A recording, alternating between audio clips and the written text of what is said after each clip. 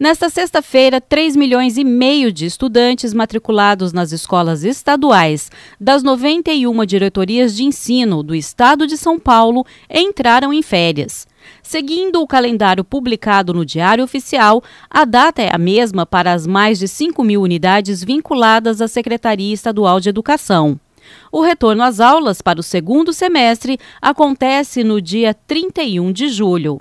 A partir de 2020, as escolas estaduais do estado de São Paulo terão um novo calendário escolar.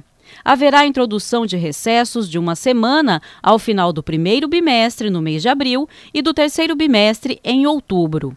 Assim, alunos e professores terão pausas ao término de todos os bimestres e, ao final do segundo e quarto bimestre, as férias estão mantidas. As férias escolares em 2020, elas continuam com o mesmo período de férias, o que vai mudar realmente é o recesso escolar.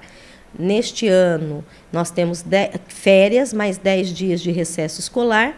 Para 2020, os alunos e professores voltam mais cedo, eles vão ter férias em julho, férias em janeiro, mas o recesso escolar de julho os 10 dias serão parcelados em duas etapas, uma no primeiro semestre, meados de abril, e outra em outubro, por volta ali da semana do, da, dos professores.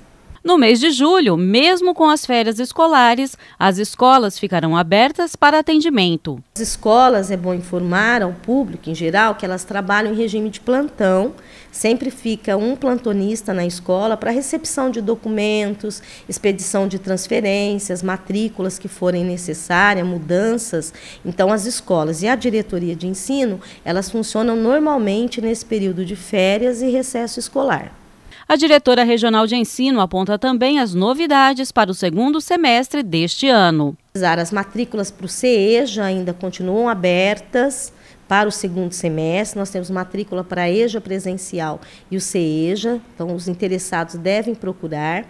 É, para as escolas particulares, toda escola particular que precisar alterar o regimento, precisar entrar com alterações para 2020, ela tem que fazer agora para a diretoria de ensino para vigorar a partir de 2020. E os alunos da rede estadual para esse segundo semestre, nós vamos vai ser instituído essas aulas de reforço preparatórias para o SAEB 2019 e o SARESP, que acontecerá aí é, em outubro, o SAEB, final de outubro, e novembro, o SARESP.